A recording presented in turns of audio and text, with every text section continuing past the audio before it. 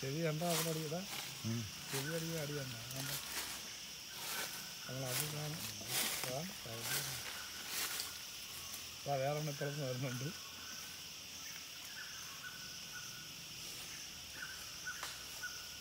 ഇപ്പുറത്ത് വരുന്നുണ്ട്. ആ ശരി അപ്പുറത്ത് പറഞ്ഞു നിൽക്കുന്നുണ്ട്